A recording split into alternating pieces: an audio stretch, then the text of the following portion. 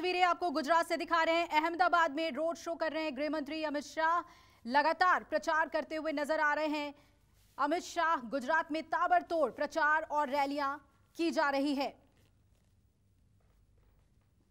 दूसरे चरण के लिए चुनाव प्रचार चल रहा है और ये अहमदाबाद की तस्वीर आपको दिखा रहे हैं, जहाँ पर गृह मंत्री अमित शाह ने रोड शो किया है।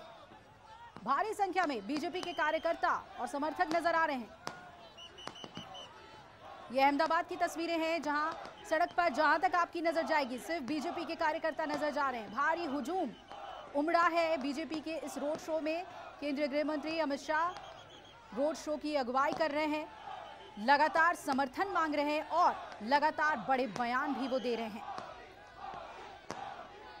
एंटी रेडिकलाइजेशन सेल बनाना बेहद ज़रूरी है, ये बात कहकर उन्होंने चुनाव में एक अलग मुद्दा उठा दिया है। और गुजरात की जनता इसे कैसे लेती है? ये देखना अहम होगा। कल क्या वोटर्स पे इसका इम्पैक्ट पड़ेगा? ये देखना बहुत ही अहम हो जाता है और फिर दूसरे चरण के लिए भी उसी ज़ोर से चुनाव प्रचार में लगे हुए हैं बीजेपी के तमाम दिग्गज नेता और कमान संभाले हुए हैं इस वक्त गृह मंत्री अमित शाह अहमदाबाद में।